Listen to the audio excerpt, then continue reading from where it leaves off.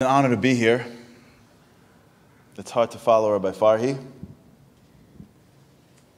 Rabbi Reuven, and the entire class you have here. I feel like yesterday I was standing here before you, last Tisha B'Av, I thought this was the last one. And as Rabbi Farhi was talking, I was thinking to myself, God runs the world in amazing ways. That in many ways, what the rabbi was talking about, I'd like to sort of continue that thought but maybe explain a little bit what's holding us back. We want something. We all want to be something. But something's holding us back. Something when it comes to Hashem is holding us back. And if we can today, just for the few minutes we have left in the fast, which is the day that God wants us to figure this stuff out. Tisha B'Av is one of the greatest days of the year. It's hard, but everything great's hard. You don't win a Super Bowl and it's easy. What Tisha B'Av can give you, if you do it right, is realness. You're hungry. You realize you're a human being, and as much as you may have, you don't have the food to put into your mouth today. You feel gross.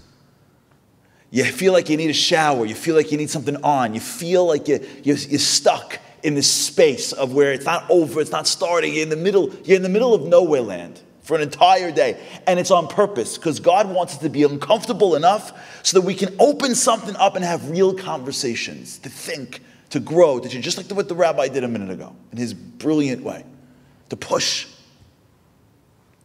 But there's something going on under the surface that I want to talk to you about. And if we can get there right now together, together right now, a few minutes, to understand it, just to see it before we try to solve it, it could change us. The Tisha B'Av started a long time ago. The root of it took place in the desert. Everyone remembers the story. The Jewish people at Canaan. They're about to go in. God says, I'm going to send you in. The Jews say, Listen, we don't fight with the Jewish people. We can negotiate it, but we can't fight it. I know a guy. I'm not the guy, right? And not only that, I saw what you did in, e- in Egypt. Man, you're the best. You got frogs and blood and lice. You could pull anything out. We don't, we're not that creative. God goes, No, you'll be okay. You're, you're good we send in spies. Remember the story? Now, here's the story. We, how do we know the story growing up? Spies go in, spies come out, we're going to die. Everybody cries, Shabav. And in their report, to what they use as the proof that we're going to die is they say, listen, we walked around, they had these cities, they were walled cities. You know what it's like? We don't have drones yet. We still have a couple more years so the Israelis have all their technology. We have arrows and bows. The sticks and stones may break my bones. You know how big that wall is? How am I going to get into that wall? There's a guy that's sitting on top. Of, there's no, there's walled cities. No one thought of that. Not only that, they said, listen, we walked around, and everywhere we went, people were dying. Every place was a funeral. This land you want us to go to, first of all, we're never doing it. We're never getting in there. Giants. They got walled cities. And everyone's dying. This is where we're going to go? Wow. Crying. Tish'a B'Av. Bichinat Chinam. This is what we're here.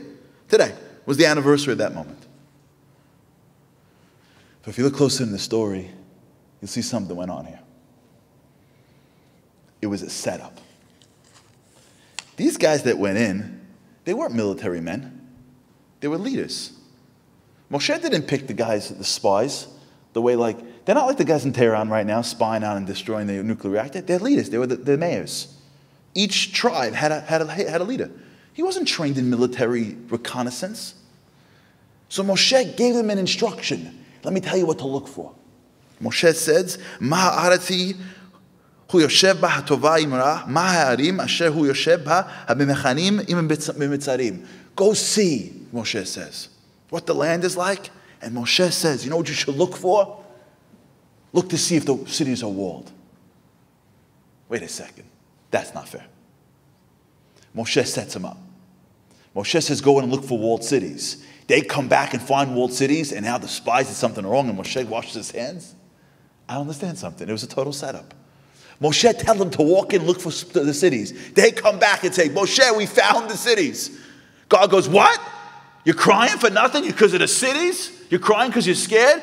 Tisha B'Av. I don't understand something. Moshe told me to look for the cities. What did they do wrong? What's the big sin? They followed the leader. So I want to share with you a study. There's a man named Marshall Duke. Marshall Duke was a psychologist in Emory University. And he was trying to understand the idea of resilience. He's a psychologist. Why are some people resilient and some people not resilient? How come some people can go through challenges and come back stronger? How come some people go through challenges and they're gone? You know people like this? Some people you see they went through everything in the world and they keep on getting better. Some people stub their toe in the morning and they're out for the week. Well, how come? Did, how come there's some people that are total snowflakes? And some people are the strongest people in the world. So he's sitting talking to his wife. And his wife happens to be an expert with children. And she goes, Listen, I got kids. I'm, I'm teaching kids in uh, all these schools. You got this idea. Let's come up with a project together. And they do. They go to this New York City. They're about to launch their project. It was August to be for September 2001. What took place in New York City 2001? 9 11. September 11th, 2001. Guess what happens in 9 11? These kids come to school and they're blown out. Now, it's terrible, but it's great for science.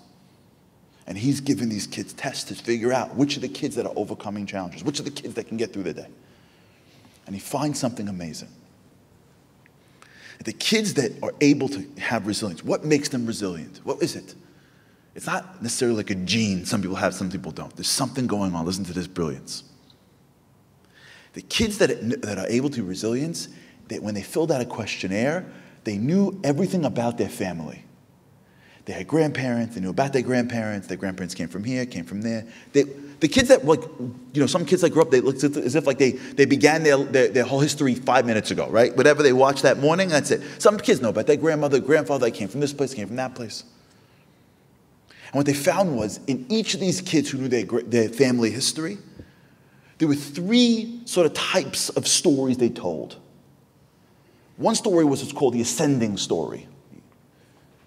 Family comes in, you know the stories of the family. We had nothing, then we have we grew, we have everything, everyone's amazing, everyone's perfect, everyone in the family is the best. The cousin, the uncle, we don't talk about him. That guy, we don't talk about. This girl, but everyone. And the kids know that I have to get an A. You come home, where's my three points? I got a 97. You know that family? One family was called the descending story. We had everything, they took it from us. If it wasn't for those guys or those guys or this guys or that guys, I used to, you know what I used to, you know who I used to be, I used to be, I used to be. If it wasn't for the, I, it's my country, it's my country, it's my country. They came in, they came in, you know that story. Because then there was this one family story that these kids with the highest resilience all had. We had it and we lost a little bit. We came from here, things were great, and then they got bad. We went to this thing, and your grandmother was amazing, and then we hit this thing, and this person got sick, and we overcame it. It's called the oscillating story. Ups and downs, ups and downs, ups and downs. When a kid grows up and says, My history, because history is who I am, my family had ups and downs, but we're still here today. You know what happens to that kid? The kid becomes resilient. Why? Listen to this. Listen to this because we think we have good memories. We don't. We have terrible memories. Anybody here who's raising kids and the kid comes to you and says, I'm starting for finals, I'm freaking out. You go, What's the big deal? It's finals. Remember when you were that age, you were freaking out. You don't remember it because it's perfect back then. We were all amazing in high school. Everybody had the perfect high school career. Always friends with everybody. No one was ever, ever felt left out. Every shot went in. Every, every class was amazing. And even if you weren't good, you, you, you heroicized not being good because our memories are terrible back then. Everything yesterday has a, we, we forget stuff. So how do I know what I remember, what I don't, what I forget? How do I know who I am? So the science Marshall Duke shows that when you look at your life, when you think about your memory, when you have a history, the history actually, you don't remember all the history, it forms a narrative. There's a story that it tells. And your memory starts to fill in on a narrative.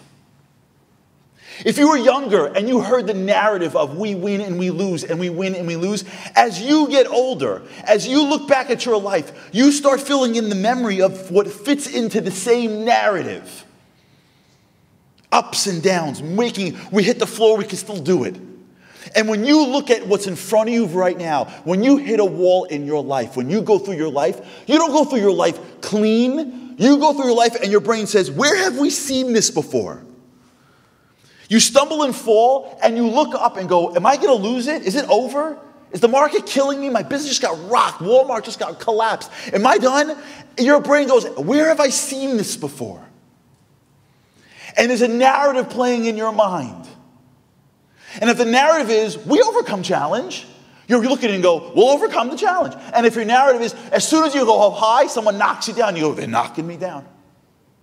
And if your narrative is, I'm perfect or no one accepts me, and as soon as you stop being perfect, you feel like nobody accepts you. When you go through life, what's happening is your narrative, your history, what you get from your family, what you get from your own personal history, your narrative is actually picking apart all the different things in your life. Everyone has tons of bit of stimuli.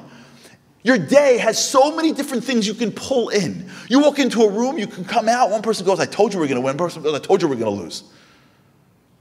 They both see the same thing because what they're suing it, they're not looking at the world. They're looking at it and they're connecting it to a narrative. Every day of our lives, we're not living in this world. We're living based on a narrative. A narrative of, if I don't have, then I'm not. You walk into a room and you feel different. Why? Because the narrative says, this is what people here accept, and I am or I'm not. You can walk into a room, nothing happened except you you feel down or up. You walk into a competition with your wife, with your business partner, with God. What makes us feel high and low, what makes people resilient or snowflakes, is not the person. They're all built B'Tselem Elokim. People are built with incredible power. You think our grandparents, I always say I come from an interesting background. My mother's from Munkach, she's from Ashkenaz. My grandparents are Holocaust survivors. My other grandparents are Chalab. I always say no matter. My, one, my, my grandparents from Chalab only spoke Arabic. My grandmother, she should rest in peace, spoke, spoke Arabic only. My other grandmother only spoke Yiddish. You know what it was like on Pesach Seder? One person giving like kibbeh, and one person giving you a gefilte fish. You know how hard that is? To give someone who eats kibbeh, gefilte fish, you know what that is? That's torture into itself. To give someone who eats, gefilte fish kibbeh, forget about it. They think you're trying to poison them with the spice. It was a total rock, but you know what? They, both, both different levels, but they both went through hell. Both grandmothers, different. But they, they're strong. How? Not because they were born differently. They saw something. They had a narrative. The narrative of our lives the narrative of your life right now, there's a story playing right now in your mind. That story is what's guiding you. The story of your, you could have had it from when growing up. You could have had it wherever. The story right now in your life and how your life is supposed to play out is how you're interpreting the facts around you. And when you understand the narrative, you can change it. And if you don't, you succumb to it. I one time was in Israel. Watch my time. I was in Israel once, I'll never forget. Every year I have the, the zechut, should continue to take about 200 men to Israel. Most, 90% of the people had never been to Israel before. People from all denominations, not guys, not people that were blessed with a Jewish education. Most people on the trip, adult men, 40 to 60 year old guys, no, very little Jewish education. It was most inspiring trips I do. Adult men, Israel for the first time. You understand what that's like?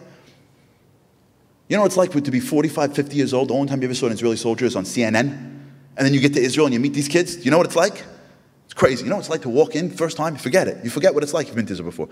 An adult, adult man walking in, seeing the, the, the, the, the hotel for the first time, they go crazy. So the, the, the week culminates in Shabbat, Friday night at the Kotel. We dance. We have our own minyan and we like take over the Kotel. It's awesome. If you're, there, if, you, if to be there this year with God's help, in November, we're going to be there. Come for Shabbat, hang out with us. It's awesome. Dancing and singing, guys, for the first time in their lives. They never went to shul.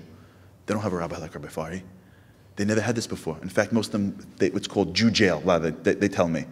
Sometimes when they go, to, they go until 13 then they book out. They're dancing by the Kotel. And what I do is we work it out. I, there's, a, there's an organization that has Israeli soldiers. We work it out that the Israeli soldiers come right at the end of the service. You know how it's like, it's like a play. They're dancing and singing, and 20 young guys come in with, uh, with uniforms. They go out of their minds. They're dancing with them, they're singing with them. It's like Ni'ilah and Yom Kippur. It's all worked out. It's all worked out. Oh my God, they're here. Who would have thought? It's all worked out perfectly. I have it on the clock. So the guy who gets me the guys, he goes to me, this, you're going to love this one. I got commandos. These guys are the, these guys are the big, you, this unit, you can't touch. I'm like, I can't wait. Friday night comes, the whole week the guys are going crazy. We're at the kotel, we're in the corner in our spot right by the mechitza. If, if, if, you can picture the kotel, in the front, one back, not the front by the wall, one back by the mechitza. So that all the tourists are taking videos of us the whole time, dancing. We're ending the last Lecha Dodi, we're they're dancing the end, and all of a sudden I see my guy. I'm like, where are the soldiers? He goes, they're here behind me. I go, where? Because all these guys. They're in plain clothes. They're top level commandos. They walk around like. I said, plain clothes? Those aren't soldiers. It's like, no, they're commandos. I'm like, we're Americans. We think every Israeli is a commando. You know what I'm saying? Like, if you're an Israeli, we think you have a gun in your foot, and your shoe, in your head. I'm like, I don't care about, I don't care what they're doing. I want to see uniforms. I want guns. I want berets. Because, ah, no, that's not the group I have. I'm like, ah, this is the moment. He felt terrible. He's such a good guy. Goes, listen, I'll make you a deal. I'll make it up to you. See the guy in the back? It's the unit head. You, you can go talk to him. No one is supposed to know who he, he exists. You can't take his picture. I'll put you in the back. You talk to him.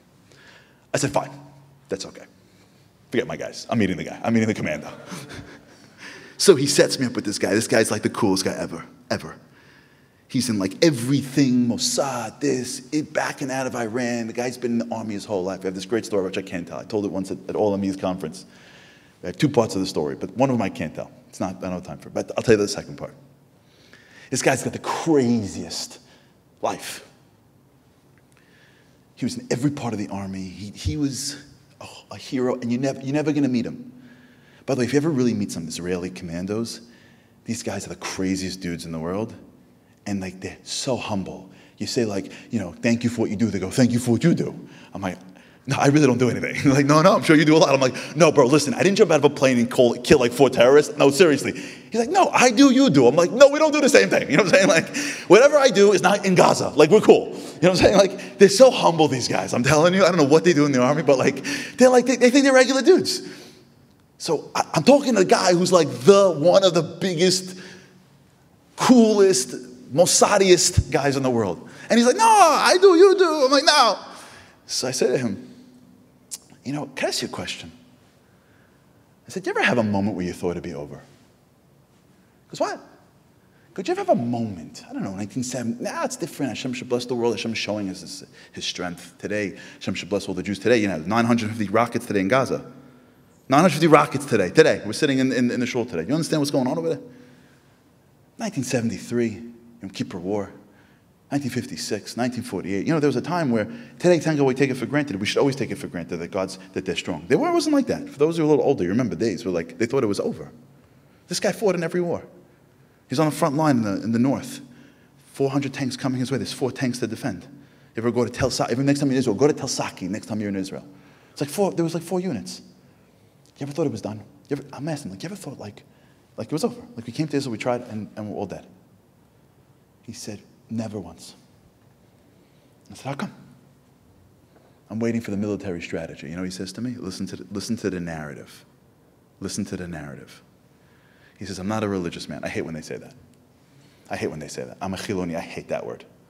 Look, do me a favor. You put on a uniform, you defend Jewish people. God, don't, don't, don't start judging God. Because I grew up, and by the way, to like a real Sephardi Tahor, I'm telling these guys are the holiest dudes in the world. A Chiloni Sephardi Tahor, in my opinion, I don't know, this guy's like Eliyahu Navi. He says to me, Listen, when I was a kid, I was like, I couldn't sit in shul, forget it. My grandfather was Temani. He made me come two times a year. Yom Kippur, you sit. You don't like it, you sit. You pay respects to Hashem. Pesach Seder, you come to my house. You sit in my house, Pesach Seder, I don't bother you the whole year. Pesach Seder, I sat in my house, his house. You know he said to me every single year? And I was like, you know, playing around. He goes, remember, when we get to the point of Isha Amda, he'd say, Remember, we get in trouble. God loves us like a child. He'll never forsake us. He's always going to take care of us. Behold, door by door, he's going to watch over us. He says, God's been saving us since Egypt. Do you think He's going to stop saving us in 1973? Never in my life, in the, the worst moment ever, did I think God will ever leave us now. You know what that's called? A narrative. You see that? He looks at the world and says, We're going to die. No, we're not. How come? How do I know? Because someone told me a narrative, a story. And the story that they tell me is how I see the world. And I believe between me and you, I believe between me and you, I, never saw a study for this. I believe the greatest reason why we have a country today is because of the Pesach Seder. Because when an entire nation of people here every year, Hashem will be there for you. He took us out, and you go fight a battle, and push comes to shove. You see, you see the worst, you keep on fighting because you know Hashem is with you. It's called a narrative. You with me? The narrative played in his mind and allowed him to see a new field but to hear the story. Everybody see this? Are we with me? I can't go next until you're all with me. The narrative drives the reality. Because you'd have the narrative God setting you up to kill you and you see those Syrian tanks coming, you give up. When you hear the narrative God's going to protect you, you see the Syrian tanks coming, you fight. Fighting and giving up, resilience and giving up is not based on the tanks. Everybody with me? It's based on the narrative. Everybody here? Watch. Watch this. Moshe Rabbeinu sends in his spies and says, Look for walled cities. They come back and say, We found walled cities. And that means we're going to die. Not fair. He told them to look for the walled cities. Watch the Seforno. Listen to what the Seforno says. He asked to look for walled cities. Why? Im Yoshvim Bare Mivtsar, if they're sitting in walled cities, if you walk down the street and on the street corner are two guys at two in the morning hanging out, you, you think you should cross the street? Probably. If you walk down the street and one of those guys goes into his house at 6:30 and locks like 40 different locks, should you be scared of that guy? Probably not. You gotta get through the locks. But a dude who's got to have 40 locks in your house isn't the toughest guy around. The guys who hang out on the street corner at 2.30, those guys are scary. The guys who go in the house and there's like 40 different alarms that they set up in the house, online, virtual, those guys, okay, there's an alarm system, but you're scared of those guys? Moshe says, Im yoshvim ba'areh mivtzar, if they're stuck behind walled cities, mipnei yirat milchama, they're scared of warfare. Okay, we got to get around the walls. We're Jews, we'll figure it out. We'll, we'll, we'll come up with something. But if you're going to walk in and see walled cities, you know what that means? We got these people. If you walk in and all you see is walled cities, then we got these people. They're all sitting behind walls all day. They're all scared. If they're sitting in open valleys, they're like, bring on the war. If they're sitting behind wall, if every night they got to go in the city and some guy's got to close the big door, that means these guys are scared. If these guys are scared, we got to figure out how to get in. But once we get in, we own them. Moshe Rabbeinu walks in and says, Look for walled cities. The spies look at walled cities. They're both looking at walled cities. One person looks at a walled city and goes, Yes, we're going to win. One person looks at a walled city and goes, We're going to lose. The fight at the B'Av isn't the walled city. The fight at the B'Av is the narrative.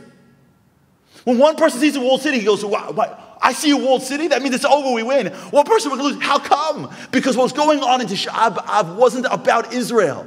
It wasn't about whether we get into Israel. It wasn't whether they were big or small. The battle of Tisha B'Av was something much deeper. And if we don't go deep right now, and we don't get it in our own heads, we're not we're only touching the surface of Tisha B'Av. The battle of Tisha B'Av was the battle of narratives. Moshe Rabbeinu had a narrative in his mind of how God runs the world. When Caleb got up and said, We can go do this, Caleb got up and said, We split the sea for us. He gave us man. He took us out of Egypt. He was giving them a narrative. Hashem is setting us up. He's building us up. It looks challenging, but the narrative that Moshe had was the narrative of He's with you. He's got you. He needs you. You're the Jewish people. Don't be so small. Do you know who's with you? Do you know who wants you? You know who chose you? You're up against giants, like the rabbi said. You have a Hashem behind you. Hu yalachem lachem.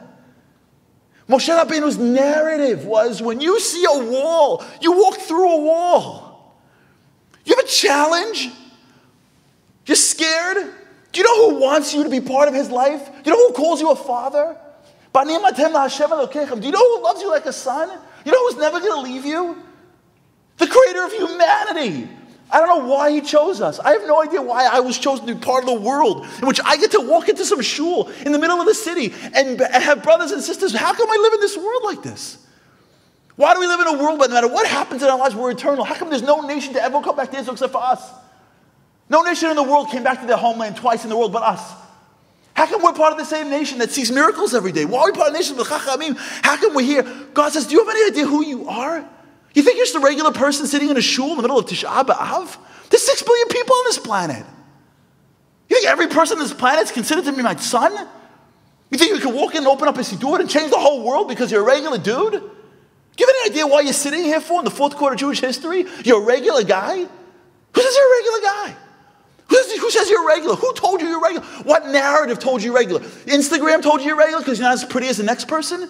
Netflix told us you're regular because our life isn't as exciting as somebody fake jumping out of a, out of a building? When did you learn that you're regular? What part of, your, of our narrative taught us you're like everybody else? When did that happen to be part of our narrative? Moshe goes, everybody else, are you crazy? You know who you are? Go look for a walled city. When you see a walled city, they're scared in there. It means it's ours. But the spies have a different narrative. Listen to this. And then I'm done. Listen to this. You can't believe it. It's actually in Torah, like specifically. This is like a psychologist's dream. Today, yesterday, yesterday we read Devarim. It says Moshe is giving the re- Devarim is the recap, is the recap, right? Devarim is, is, is Moshe saying, "Listen, guys, it's over. After the thing, it all happened in Bamidbar, and Devarim is Moshe Rabbeinu giving the speech.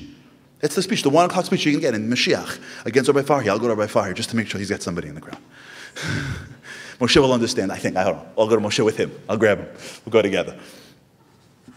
He says like this. You know what, what happened during the spot? Listen to these words. He says, You grumbled in your tents during the spies. You ready? The Tomar, and you said, Bisinat Hashem, mi eretz Mitzrayim, biyad. You know what you said? You know what we're going into the thing? You know, listen to the narrative. You know what we're going into Israel for? B'sinat Hashem, because God hates us. B'sinat Hashem. Hotzi'anu mi'eretz mitzayim. Latet otanu biyad ha'emori. You know, you know what we see this for? You know what this is happening for? He's bringing us to Israel, the hashmidenu, to destroy us. The narrative that they played was God's getting rid of us. The narrative of Moshe is God's bringing into the promised land. Same story. No such thing as same stories in this world. One guy walks in, takes on the world. One guy walks in and collapses. Same guy, same life, same world. Two different things playing in the mind. The narrative is what drives your life. Your narratives. What does it mean, Bisinat Hashem? Listen to this, Sforno. I'm not, this is so Jewish. This is so me. Listen, it's me. I don't know if it's you, but it's definitely me. Why would God hate me for? What did I do to be hated by God? Ready? You know why God hates me? Because I was bad when I was in Mitzrayim. I'm not a perfect Jew. I have sins. You think God's listening to my tefillot? I have sins. You know what I look like? You know who the rabbi is? You know how holy he is? Anybody have this God complex? You think I'm so I'm not so religious. You don't know me. If you know me, you know that God doesn't really love me. He loves him. Maybe I can come underneath. But me, they're sitting at, at the banks and they're saying, you know, why, you know why God's bringing us in to destroy us? You know why He's destroying us? Because in Mitzrayim we served idols. Anybody have this? I'm not perfect. I don't understand why I do what I do. I don't, I'm not inspired like other people are. I'm not the best Jew. And since I'm not the best Jew, you think God's taking care of me? You think when I hit a, a, challenge in my life, it's God trying to make me better? Get out of here. You know who he makes better? The rabbis in Israel that I read stories about. You know who I am? Do you know what I've done? Get out of here. God is, I'm God's son. Stop. You think it started here? You think the God complex came in, in, in 2022? This is called Tisha B'Av. It gets better. Rashi. This isn't like even like guys. No, this isn't like a contemporary commentary. This is Rashi. This is what he says. Moshe says he loves you. Imagine God loves you. But you hate him. Mashal Hedyot Omer, Ma libech al rechimech, Ma bilibei alech. What you feel about somebody, you think you're projecting it. You feel he hates you, so you think he hates you. You feel self conscious, you think God's not with you. God loves you. God says, You're my people. I put you in the fourth quarter of Jewish history. I gave you talents. I gave you a shul. I gave you this world. You know why? I want you to be great. I want you to be a piece of me. You don't think I know that you're not perfect? You think I'm killing you, not perfect? Don't you think I know you can't walk down the block and see stuff that's going to pull you away from me? Don't you think I know that? Don't you think I know I gave you your background? Some of you had this background or that background. Don't you think I know what I gave you? You think I hate you? Because you don't think you're perfect, so you project on me that I don't love you. So when I throw a challenge your way, you assume that I'm leaving you. You know what that's called? Living in galut every day of your life. Galut and Geulah, it has to do with God's presence. You can be walking through the streets of Manhattan and you can be walking with God. It work. Rabbi Nachman says, everywhere there is something, in that thing is Hashem. You go to work, you're doing business, God's in the business. You're talking to your wife, God's in the com. God doesn't, He doesn't live on top. We live a life and we think that God's up here and we're down here and we're like playing a game with Him. God's in the world. We can walk around every day bulletproof. We can walk around every day, you know, every day, walk around and feel and hear the voice. I got you. Come closer to me. Let's do this together. But you, you're sitting in the room in 2022. Do you know what you are? Do you have to? Do you, do you realize what's going on in the world? There's a few Jews left that are sitting together. I was driving the streets, looking at the city, and they're all like going about this. I'm thinking to myself, don't you know the Beit HaMikdash was destroyed? It's a regular day for everybody. Hashem is crying, and everyone else is partying, and a few people are sitting in the shul saying, I'm with you, Hashem. Do you know what that is? because I'm not as holy as. It's a narrative. It's a narrative. We all got it from somebody, usually from school. I love school. Usually in school, you get. If you're not, then. And you hold on to it your whole life. And it pulls you from Hashem. And you go, listen, do me if I'm not, and then you become, I'm not this guy, I'm not that guy, I'm not like this guy, I'm not like that guy, I'm not, I'm not, I'm not And what you're really saying is, I'm scared, I'm scared, I'm scared. I feel rejected. I feel that God rejected me. I'm not perfect. I don't know how to get connected to Him. I'm not, I'm not holy. I don't feel holy. And I go through my life and I hear words from Rabbi Farhi. Take five minutes. And the reason why I'm not going, yes, because I feel like what's, gonna, what's it going to matter five minutes? I'm never going to become him. The narrative continues. I'm never going to, a narrative under the surface today is a battle of narratives. The narrative of, I'm not perfect, so I'm rejected. Or, He's been building you up to take you to greatness. And that's the choice. That's today. And the choice that a Jew makes on Tisha B'Av is to turn to that voice that says you're not enough and say, fine, I'm not enough. In the world of relationships, you don't have to be enough. To a father who loves his child, you don't have to be enough. I was talking, I'm gonna just check my time. I'm, one more minute. I know it's a long day. I was with my son the other day, my oldest son, and we were at this program. I'll never forget this. It's so simple, it's so little, but it's so big and I'm sitting with my son at, at lunch. It's like a program for Pesach. One table over is a six year old kid losing it. I mean, losing it. Losing it. Like temper tantrum, like Parex. This kid's a great temper tantrum. I mean, like some people temper tantrum, this kid's like throwing stuff, doing, he's awesome. He's like, if there were like competition for temper tantrum, this kid would have a gold medal. The whole table's losing, everyone's at each other. The kids, the, Things are flying. Everyone's upset. His father sits down for two minutes. He can't even eat. He grabs his son. They're walking out. The kid, he's dragging his son. The kid's going crazy. And I'm with my older son watching this happening. Of course, I'm not helping. You know, you know what I'm saying? I don't know. And as he's dragging out, the kid, I'll never forget this, this little kid, he's getting like dragged out of the room. He like, the father drops his hand and he like, he rolls over and he, it dawns on him that he really messed up. Like he has a moment of tshuva. And looks up and he says, like this, it was the, his little six, he goes, sorry, daddy. Like that, sorry, daddy. And the father goes, okay, honey, no problem. And they hug. He gets to his leg and he hugs him. And I turned to my son and I said, You know, the problem is that we think that when God looks at us, he sees adults. When God looks at us, he sees six year olds. One, I'm sorry, daddy. One, and if you're a girl, forget it, it's over. If that boy was a girl, he would have bought her an entire new thing. One, I'm sorry, daddy. Daddy, I, I don't know where you are, but I want you. I, I want this. I know that the, that the core of life is a connection to depth. I, I don't know how to get to you, but I want to get to you. I have this narrative that tells me you don't want me because I'm not holy. It's not true.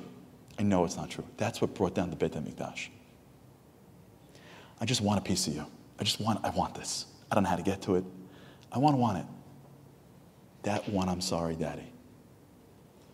When you see Hashem is seeing you as a six year old, and when you see and you adopt the narrative of Kalev and Moshe, he brought us out of Mitzrayim. He brought us through the world. He brought us to the city. We're sitting here in a beautiful shul.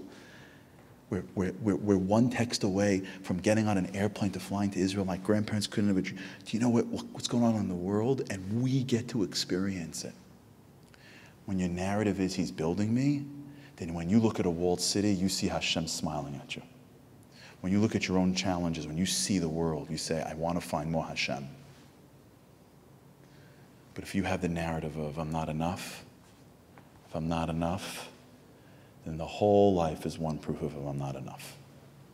Galut and Geula. It's the choice of how we see the world. And my bracha to us is that we stop this self conscious nonsense. It's held us back long enough. Enough. Chalas. Enough. If you're here, it's because Hashem wants you here. Let's do big things. Let's realize Hashem has brought us to this point for a reason. Let's search for Him. Let's fight for Him. Let's see Him in every point of our lives. Every challenge we see and see it as an opportunity for my growth. Let's check our narratives. And when we make sure that our narratives are strong, then whatever God sends us will be strong. And every day of our life will get stronger and stronger until when it's our turn to have our own moment we're about to get into the promised land, we'll be strong enough to get there. May we, as this wonderful community, be zocheh, to have the right perspective and together be those people that gets to see the time where we get to see the binyan Beit HaMikdash. Amen.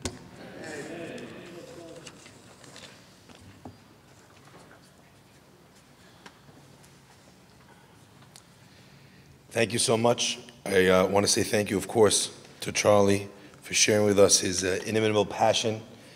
I want to say thank you as well to the rabbis, uh, to Rabbi Reuven, Hazaku Baruch, Rabbi Lawrence, Rabbi Ariel. Um, but I also want to say thank you to the, uh, to the entire Moffson family. You know, um, first of all, that the fact that they've been sponsoring this event for uh, a few years running. As I said earlier, it's a wonderful partnership but they were sharing from even before. They were sharing a uh, really a, a role model with the world. Um, Daniella was someone, if everyone could take a few minutes to just read up about her online, uh, and you'll see some of the incredible things that this young girl was able to accomplish with the short time that she was granted here on earth how much chesed she did in her life and how much chesed has been done in, in her name uh, since she passed. And um, when I mentioned it, I actually saw one of the comments on the video was someone saying, uh, I actually taught Daniella in school, and everything that they are saying about her is true and more. Uh, she was a tremendous Kiddush Hashem. and it is my hope that we uh, brought her a, uh, a, tremendous aliyat neshama, that we did a tremendous kiddush Hashem today, and we made Hakadosh Baruch Hu proud. And uh, again, I want to thank the, the family for uh, for being here and, and helping us do this. Uh, tens of thousands of people will have seen uh, these incredible, inspiring messages around the world. And um, it is my hope and my prayer as well that we are able to continue to ramp this up from year to year. We have in uh, we have a branch of Chazak in London that is running a program today, a branch of Chazak in Los Angeles that is running a program today. Uh, the Safra Synagogue last night ran as well a beautiful meditation program that was here live with Rabbi Reuven uh, and on. And I think one of the things that you'll notice if you sat here today for a little while is that these are a little bit different than regular rabbi speeches. I think you'll understand that. And that idea is really the core of what we do here in the synagogue and in Chazak. And it is only due to uh, the generosity of the people that help sponsor these events that we are able to continue to do them uh, uh, on, a, on, an unbelievable basis. And as well, um, I would ask if anyone uh, would like to join us and help sponsor some of the incredible Torah classes and programs that we run, programs for uh, kids of school age, programs for kids, for young people uh, who are looking to find someone to get married, programs for young families, uh, programs for the community. We do it all. We literally do it all. Uh, older singles as well. We're doing a beautiful event as well uh, coming up for people from, I believe it's from 40 and above. We're doing an event. Uh, is that the age? Is the age at 40 and up? We're doing a 40 and up singles event uh, because they, that kind of group uh, kind of sometimes doesn't get uh, as much coverage and as much and as much love. So we we are always trying to do more and trying to do better for the community. If uh, you like what you see and you liked what you've seen. So you could approach myself, uh, Rabbi Ariel, Jessica, uh, and, and let us know that you'd like to be involved. I'd like to end by saying one thing. Tomorrow, uh, we have a program here in the evening uh, to commemorate the 30th day uh, since the passing of Mrs. Lily Safra Alea Shalom. Leah Bat Dov HaKohen V'chana. And this was someone who managed to affect the world to such a large degree that people who came from countries and religions that weren't our own were able to look at the kindness, the generosity, uh, and the charity that the foundation has done and sit and marvel what is it? Why is it that someone like this cares about me? And uh, you know, we started off by talking in my speech about Dr. Magda Bukovsky to ask why would someone who's not Jewish do something like that, risk their self, life, limb, family for someone who is. And here you're finding someone who ha- has dedicated so much of her life and and the resources that they had to to uh, developing medications, to working on underprivileged communities to helping build synagogues and yeshivas and mikvaot, uh, to help clothe people who are freezing cold. Uh, there is a list of things, a book that they actually put out uh, with the hundreds of charities that, uh, that received sponsorships and beneficence from this incredible organization, the Edmond J. Safra Foundation. And, um, and I think that I would like to ask HaKadosh Baruch Hu Eh, in the merit of the people that came out today, in the merit of Daniella Nechama Bat Rachel Shira, who was someone who lived only for what you would have loved, Hashem, for kindness, for empathy, for sweetness, for goodness, for tefillah, for Torah, in the memory of Lily and Edmond Safra, whose names are everywhere. They never had children together. But as our rabbis tell us, Toldot does not only mean children, it also means deeds that are done. I don't know if there's anyone who has done more and over a wider group, uh, over a wider swath of uh, influence than Edmond Alava Shalom and Lily Safra. And it is with pride that I say that this is a synagogue that the two of them built, one with their mind in their dreams and one with her hands. You're sitting in the dream of someone. You're sitting in the aftermath of someone making a decision. I want to do something. Every big idea only started with an idea. You have a few hours left before Tisha B'Av ends. Think of an idea, something that can become something. And God will know, and Daniella in Shamayim will know, that this program really actually meant something. And it wasn't just something that we attended in order to uh, while the hours away. Tomorrow night, we're going to be hosting in the synagogue a Shloshim event in uh, Lily's memory. Um, if you can attend out of Hakarat Tov, even if you didn't know her, it would be a wonderful thing. We benefited so much, and we continue to benefit from the foundation's uh, generosity. It's going to start at 7:30. There's a program uh, with Rabbi Reuven and Rabbi Lawrence together.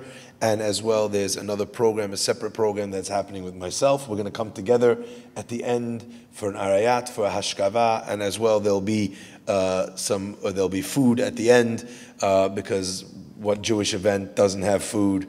Even this event has food, just doesn't have food at the same time because it's a fast. At the end, the break the fast will be here. Please remember as well, if you're here for the break the fast, to do berachot li'ilu nishmat Daniella Nechama bat Rachel Shira. The signs will be up down there, uh, and as well, if you have it in your heart and it made a difference to you. Uh, please say thank you to an unassuming gentleman over here who's going to punch me later for doing this. Or if, as I saw a couple people, uh, you I'm looking at specifically, who when I mentioned Daniella was nodding her head and saying absolutely that was who she was. Uh, if you'd like to as well, please, uh, you can approach uh, Michael and let him know. I wish everyone to Skulerot Yerushalayim. I hope that today was useful, was powerful, and was transformative. And Be'ezat Hashem, that we should see the Beit HaMikdash rebuilt. Me'rav. Amen. At the end of this program, because most of you are all dressed up and have nowhere to go, we decided that we were going to put on some incredible films for you to be able to see. So if uh, you'd like to enjoy some beautiful films, one called uh, Rosja, shot by uh, Guy Orman, uh, was is going to be playing, and as well, I think we have another one too. Uh, one called Ve'emunatcha Balelot. It's called The Faith in the Nighttime, a film about some about some incredible people who survived the darkest time the world has ever seen, the Holocaust, and walked out of it with their faith ablaze like a shining light.